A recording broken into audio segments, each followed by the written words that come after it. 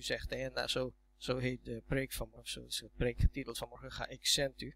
Matthäus 28, lezen vanaf vers 16. En hij zegt, en Jezus trad naderbij en sprak tot mij, ze geven alle macht in de hemel en op aarde. Ga dan heen, maak alle volken tot mijn discipelen, dood en des vaders, des zoons en des heiligen. En leert hen onderhouden al wat ik bevolen heb. Zie, ik ben met u al de dagen de hij was natuurlijk, dit is na zijn opstanding, na zijn dood en hij begint direct. En kijk, je moet zien hoe hij daarbij begint. Hij zegt, mij is gegeven alle macht in de hemel op de aarde. En dan stuurt hij ons uit. Dus eerst vertelt hij ons waar de macht ligt, waar het centrum van de macht ligt. En dan praat hij over, gaat heen en maakt alle volken tot mijn discipelen. Dus hij zegt, ik, ik geef jullie wel een opdracht, maar alle macht om dat te kunnen doen ligt bij mij. Ga heen en doe het. Onderhoud hen, doop hen, doe al wat ik je bevolen heb. En zie, ik ben met je. Zie je, dus hij, het is dat, de, die boodschap die hij ons geeft is helemaal, zullen we zeggen, helemaal ingewikkeld. Netjes, beschermd. We gaan uit. Hij heeft alle macht zit bij de Heer Jezus. De opdracht die hij ons geeft, gaan wij niet alleen doen. Ja? Nou, een van de hoofdredenen waarom God ons erop uitstuurt natuurlijk, is op dat. Ja, ik wil jullie eigenlijk vragen. Waarom stuurt hij geen engelen op? Die zouden toch een grotere inslag hebben. Waarom stuurt God ons zelf? Heb je daar over nagedacht? Of stil bij blijven staan? Waarom stuurt hij ons? Waarom denk je? Denk er even over na, dan gaan we even dus door. Kijk wat er staat. En in Johannes 20, vers 21 e- eh, en 20 zegt hij Jezus, dan zei hij nogmaals tot hen, vrede zij u gelijk, mijn vader mij gezonden heeft, zend ik ook u. Zie je? Dus mijn vraag ben ik nou een beetje aan het opbouwen. Dus hij zegt, kijk, mijn vader heeft mij gezonden, ik zend jullie ook. Oké?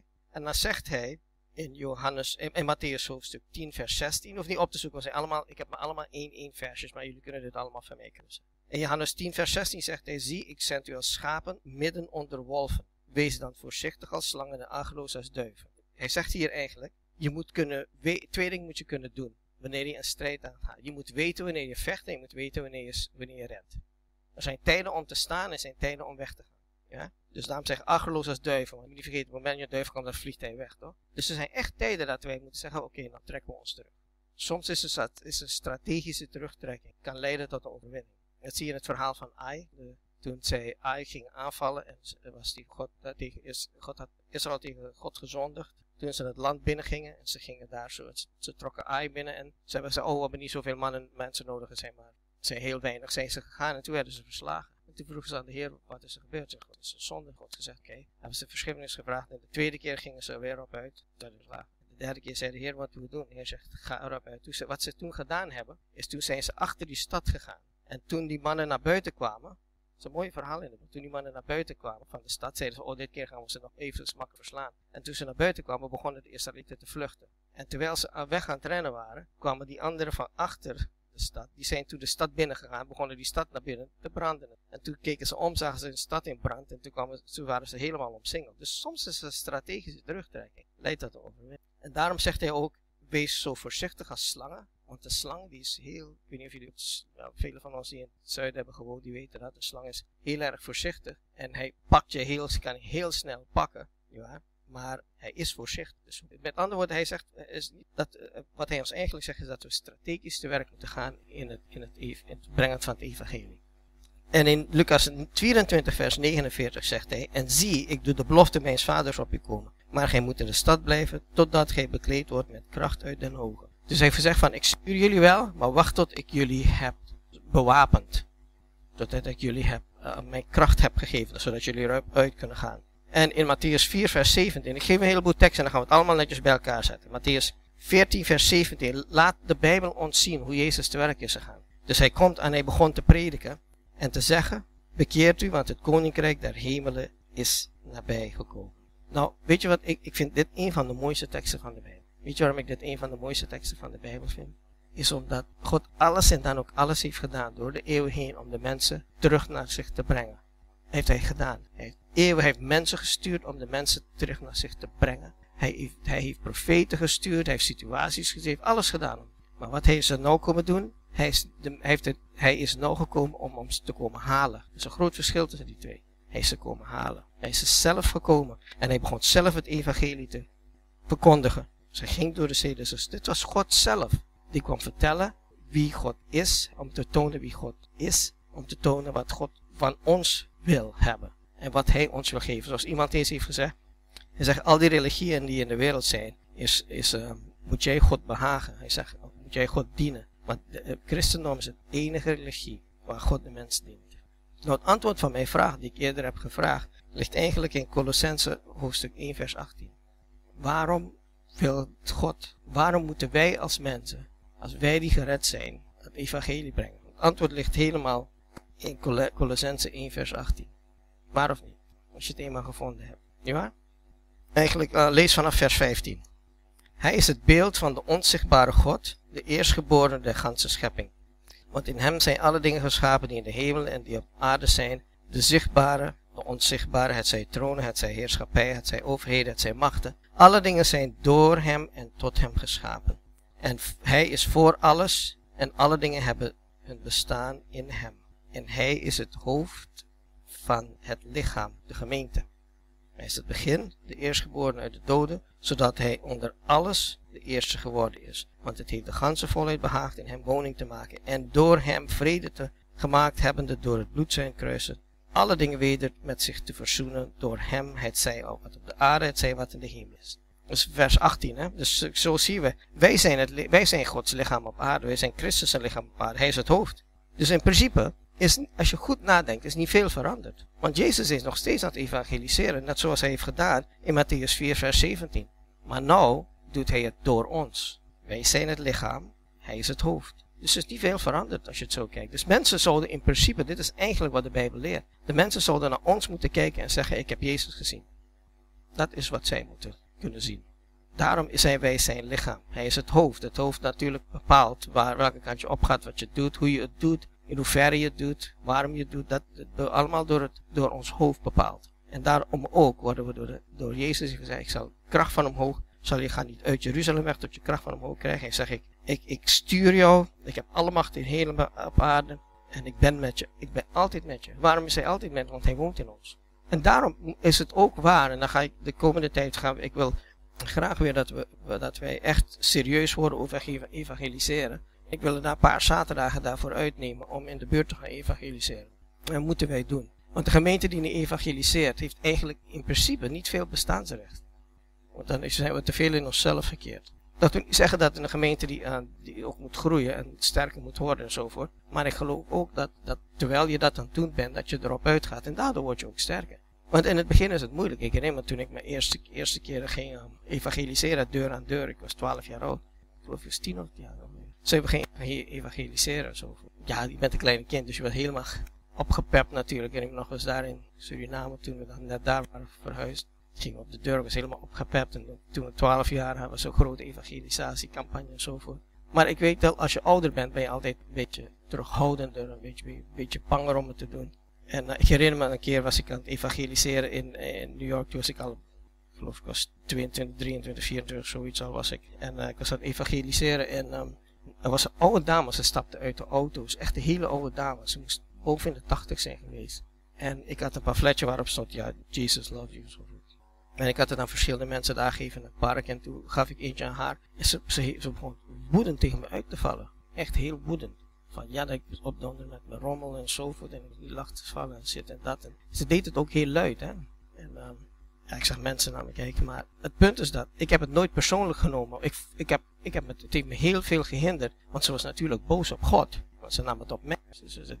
Ja, ik heb echt veel moeite mee daarmee. Tot vandaag herinner ik me nog wat ik jullie nou vertel is 1976, 77. Ja, die vrouw is al lang dood, moet al lang dood zijn, want toen zat dat boven in de 80, kon je al zien. Maar zo zie je dat, ik hoop, ik hoop en bid ook dat ze de Heer nog heeft gevonden voordat ze van deze aarde vertrok. Maar ik weet ook dat mensen soms tegen me zeggen van, ja, ik heb er moeite mee te doen, of, of dat ze niet komen of zo voort. We gaan altijd in tweetjes of drietjes gaan we erop uit, dat doen we altijd. Altijd, altijd met twee. Je gaat nooit alleen, dat is goed. En dat zie je ook in de Bijbel, hè. Paulus en Silas, of Paulus. Ze waren altijd met een groep, gingen ze. Ik herinner me jaren geleden, werd, werd ik verteld van, de, ik geloof het was die gemeente van Zijlstra, van de Zijlstra. Als ik het verhaal goed herinner. En um, ze gingen vaak, gingen ze zondags, gingen ze, uh, zaterdags gingen ze allemaal evangeliseren. En dat, ja, de Heer heeft gezegd, laten evangeliseren. En er kwamen soms iets tientallen mensen waar van de gemeente waren gekomen. Echt 30, 40, 50. Dus het ging allemaal evangeliseren. En de week daarop was het minder. En de week daarop minder. De week daarop was. En op een gegeven moment, na een paar weken, was broeder Celsa daar en nog een andere broeder. En toen zei die broeder, oh, zijn maar met z'n tweetjes, misschien heeft, heeft het niet veel zin, laten we maar naar huis gaan. Toen zei broeder Celsa, ja maar Paulus en Silas gingen er ook alleen op uit, kom op, laten we gaan. Je moet niet vergeten, als je goed naar de Bijbel kijkt, de mensen die inslag hebben gehad op deze wereld, in de Bijbel ook, waren niet, niet, met z'n tienduizenden, niet met z'n duizenden, niet met z'n honderden, niet met z'n tientallen. Het waren vaak mensen met z'n eentjes of z'n tweetjes. Waar of niet? Zoals, zoals jullie weten, wat we vaker hier zeggen, één man met God is een meerderheid. Maar we hebben soms moeite. En ik ga je eerlijk zeggen, ik weet, ik weet het ook dat velen van ons gewoon het niet willen doen. Het is gênant. Het is niet makkelijk. Je gaat afgewezen worden. Maar je moet niet vergeten, ze wijzen jou niet af. Je moet het niet persoonlijk nemen. Dat heb ik geleerd toen die vrouw begon uit te schelden. En tussen me begon uit te schelden, ben ik blijven staan. Waarom? Omdat ik niet onbeleefd wil zijn om weg te lopen terwijl iemand me uit uitschelden. Ik wou laten zien, Jezus niet zijn weggelopen. Dus ik ben blijven staan. Was niet leuk hoor. Maar ik weet dat wij vaak, we willen het gewoon niet doen. doen zo. En dat wanneer we gaan, we doen het ook heel veel met heel veel tegenzin. Terwijl we daar zo staan. We willen niet staan. Maar ik zal u één ding vertellen. Matthäus 21, vers 28 tot en 32, praat Jezus over twee zonen. Kijk, het punt is dat, je moet niet vergeten, dit komt allemaal neer, dit alles komt neer op, op dit ene punt. De reden waarom God gemaakt, deze wereld gemaakt heeft, is puur en simpel te verwoorden in één woord. En dat woord is, nee, die de wereld niet gemaakt om gehoorzaam te zijn. Dat heeft hij niet gedaan. Waarom heeft hij de wereld gemaakt? Eén woord. Pardon? Nee, die, die, die moet niet vergeten, toen hij de wereld schiep, was niemand nog gevallen. Dat zei je? Er is maar één reden waarom God de wereld gemaakt heeft. Liefde. God is liefde, toch? Maar liefde betekent niet zolang je die weg kan geven. Toch? Als je niet weggeeft, betekent het niets. Want je bent een jong man, je bent een jong vrouw, je bent een oude man, jonge vrouw, je bent alleen. Je wil het hebben, je wil, je iemand hebben om je liefde te kunnen weggeven. Je hebt liefde je, je wil het weggeven. Liefde betekent niet zolang je die weg kan geven. En dan ben je getrouwd met z'n tweetjes, houdt heel van elkaar en zo voort. En op een gegeven moment wil je met z'n tweeën die liefde weggeven. Wat doe je dan? Je krijgt kinderen. Toch? En dat is in principe wat God gedaan heeft. Hij, hij had liefde, maar hij kon het niet weggeven. Wat heeft hij toen gedaan? Hij heeft een heleboel kinderen gemaakt. En dan geeft hij die liefde aan ze weg. Je mag zeggen wat je wil. Mag een slechte wereld zijn. Maar als je goed om je heen kijkt, hebben wij het slecht gemaakt. Maar het is een ontzettend mooie wereld. Met al die prachtige bomen en die dingen. Soms kijk ik naar kleine, kleine dingen. Die, die die hij erin heeft gezet. En, al, en mag zeggen wat je wil, maar al dat lekkers. Jammer genoeg is het meeste van het niet goed voor ons. Maar laat zullen. Hopelijk is er chocola in de hemel. Kan ik me niet voorstellen dat het niet is. Weten jullie trouwens wat de officiële naam van chocola is? Van cacao? Theobroma cacao. Dat is de officiële naam. Theobroma cacao. Het betekent letterlijk voedsel van de goden. Daar ben ik helemaal mee eens. Absoluut. Ja, ik ben een chocolafreak, sorry. Ik kan het niet vinden. Ja, ja. En er moet ook cola in de hemel zijn. Dan kan ik me niet voorstellen dat er geen cola is. Ja, maar dan ben ik in de hemel, hè. Maar hij heeft, altijd, hij heeft al deze mooie dingen voor ons gemaakt, toch? Als je om je heen kijkt, het is zo mooi. En, en we nemen zo weinig tijd. Daar zijn we allemaal schuldig aan. Om ervan te genieten. Want we rennen van het een en het ander, een en het ander, een en het ander. Maar om een keer echt te wandelen in het bos of zo, dat doe ik ook niet. Ja, want dan krijg je teken natuurlijk. Dan heb je problemen met tekenen. Maar als je goed kijkt, alles om ons heen heeft zoveel gemaakt. En heeft ons zuchtig prachtige lichaam gemaakt om, om ervan te kunnen genieten. Maar we zijn zoveel bezig met onszelf. En we zijn zo helemaal in onszelf um, gewikkeld dat we niet buiten onszelf kunnen zien. Of willen kijken. Maar, zoals je ziet, is dat wat hij gedaan heeft, hij heeft de wereld geschapen, zijn van hem weggegaan. Hij is gekomen om het terug te brengen. Maar, hij, maar, maar als je goed naar Jezus keek, het kon hem niet schelen wat er met hem gebeurde, zolang wij gered waren en werden. Zie je? Hij is zelf gekomen. Hij heeft mensen gestuurd om terug te... Niemand wil terugkomen. Wat heeft hij toen gedaan? Hij is zelf gekomen en heeft ons vrijgekocht. Met zijn eigen bloed, met zijn eigen lichaam. Hij heeft verschrikkelijk gemarteld. De baard uitgetrokken, geslagen. Ja? Puur en simpel uit dat ene woord, liefde. En hij zei, ik heb jaren geleden een verhaal gehoord. Ik geloof dat het, uh, ik, niet, ik weet niet of het de graaf van Sinsendorf was, maar het was, uh, het was in Duitsland gebeurd. En deze man was rijk, was een van adel. En hij zag een, dan kwam, een keer een, een, ergens een plaats binnen, want ze niet echt musea in die tijd. En ik kwam plaats binnen en dan zag hij, had iemand een, had iemand een schilderij gemaakt van Jezus, die aan het kruis hing. En dat stond er onderaan, hele mooie letters getekend. Dit deed ik voor u, wat doet gij voor mij? En dat heeft zo'n inslag op hem gehad, dat hij alles heeft verkocht dat hij had en toen is hij naar het zuiden gegaan. Want in Suriname en het zuid van Amerika zijn gaan evangeliseren 1800 in die 1700 jaren. In de jaren 1700 is hij gegaan. Want ik ben zelf op een school geweest, heette de Graaf van Sinsendorf school. Dus het was een christelijke school. Op de hoek van de Gravenstraat. Maar goed, het is ook naar hem genoemd natuurlijk, die straat. Maar in ieder geval, zie je, eh, het heeft een inslag als je kijkt naar wat Jezus voor ons gedaan. En hij vertelt over, dus eh, bij God gaat het erom, niet hoe je je voelt per se, het gaat om gehoorzaamheid. Want hij vertelt dat verhaal en hij zegt, wat dunkt u? Vers 28. Iemand had twee kinderen. Hij ging naar de eerste en zei, kind, ga en werk vandaag in de wijngaard. En hij antwoordde en zei, ja heer, maar hij ging niet. Hij ging naar de tweede en sprak evenzo. En deze antwoordde en zei, ik wil niet. Maar later kreeg hij weer en ging toch. Wie van de twee heeft de wil van zijn vader gedaan? En ze zeiden de laatste. Zie je? Dus wat Jezus eigenlijk hier aan het zeggen is, is dat, wat hij hier zegt, is in principe, hij had het natuurlijk tegen uh, de fariseërs en de schriftgeleerden enzovoort, die, die, aan wie hij het heeft gezegd, ga, en ze hebben het niet gedaan. Maar de tollenaars, de zondaars en, en de hoereerders enzovoort, die hebben hem geloofd. Die hebben in de eerste instantie gezegd van, nee, we gaan niet, maar ze zijn toch gekomen. Zijn. Dus het gaat om gehoorzaamheid. Je hoeft het niet te voelen, maar je gaat in gehoorzaamheid. En, en die inslag die je krijgt op je hart, die, wanneer je mensen zich ziet bekeren en je ziet ze vrijkomen van die dingen die hun omlaag trekken telkens weer. En hun bevrijden. Die bevrijding die komt door het bloed van Jezus.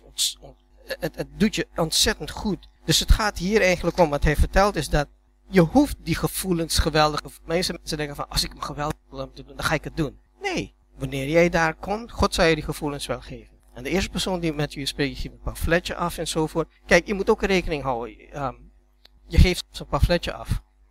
Gebeurt niets. Je geeft, je een paar honderd. Gebeurt helemaal niet. Ze lopen op je heen en zo voort. Ja. Maar je weet niet wat er met het pamfletje gebeurt. Ik heb, ja, ik heb eens een verhaal gehoord. Zelfs hier is gebeurd dat een man stond op straat zei tegen die mensen. Je houdt van heeft een pamfletje gegeven. Die man haastte zich, heeft het in zijn jas gezet. En geloof ik twee, drie jaar later in de winter haalde hij het eruit. Hij had het hele moeilijk en hij haalde het eruit. Hij vond het twee jaar later. Hij las het en heeft zich bekeerd. Begrijp je? Dus je moet niet vergeten, wij maken één grote fout. Vind ik als christen. Wij denken altijd dat wij moeten mensen moeten bekeren. Dat is niet waar. Wat heeft hij gezegd? Hij heeft gezegd hier, hij zegt, gaat heden en maak discipelen van ze. Vertel ze over wie ik ben. Ja, hij, hij zegt ook, gij zult mij getuigen zijn. Dus alles wat, wij kunnen mensen niet bekeren, dat is de Heilige Geest. Maar wij moeten ze vertellen. Ja? Want in 1 Corinthians 9 vers 16 en 17 staat er, want indien ik het evangelie verkondig, heb ik geen stof tot roem. Maar hiertoe ben ik genoodzaakt. Want wee mij indien ik het evangelie niet verkondig. Het gros van de mensen vertelt nooit iemand over de Heer Jezus. En dan hoef je niet binnen te gaan, want Jezus heeft ons geroepen om vissers van mensen te zijn. Hij heeft niet geroepen om jagers van mensen te zijn. Het is aangaan. Hij heeft ons geroepen om een voorbeeld te zijn. En vaak door de manier waarop je bent, komen ze naar me toe. Waarom ben jij zo? Je wat ik bedoel?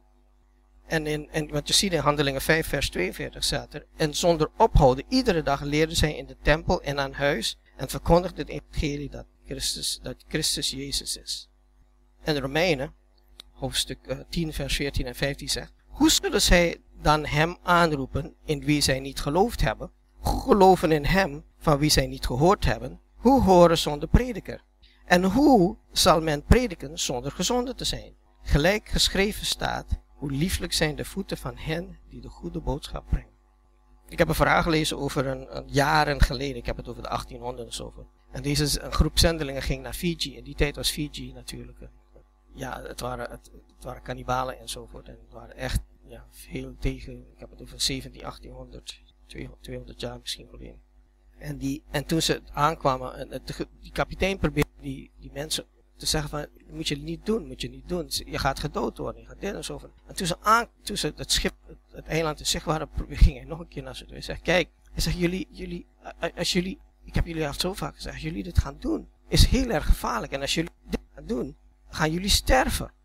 Toen zei die, een van die zendelingen tegen hem, we zijn gestorven voordat wij hier aankwamen. Okay? Jesaja 52 vers 7 zegt, dat is die tekst die we net hebben gelezen. Hoe lieflijk op de bergen zijn de voeten van de vreugdebode die vredig aankondigt, die de, die goede boodschap brengt, die heil verkondigt en die tot Sion spreekt, uw God is koning. Dus evangeliseren voor ons is een voorrecht. Het is niet een opdracht alleen. Wij zien het als een opdracht, maar in principe is het voorrecht. Dat wij mensen mogen laten zien en mensen mogen laten weten en mensen mogen vertellen wie Jezus is. En wat Hij gedaan heeft, niet voor ons alleen, maar voor hen ook. Wij hebben Hem ontvangen. Laten we even bidden. Heer, wij danken u voor deze dag. We danken u dat u ons een mooie dag heeft gegeven om te evangeliseren. We bidden dat heel veel mensen kunnen komen, zullen komen. En ik bid, Vader God, dat u ons ook ieder die komt de vrijmoedigheid geeft. Dat zij mogen zien, Heer Jezus, dat u in ons bent. En wij zijn ook, u bent ons hoofd wij zijn uw lichaam. Dank u, Heer, voor Vader God. Zegene ieder, vraag in Jezus naam. En help ons om, om u te mogen uitdragen aan de mensen om ons heen. Jezus naam.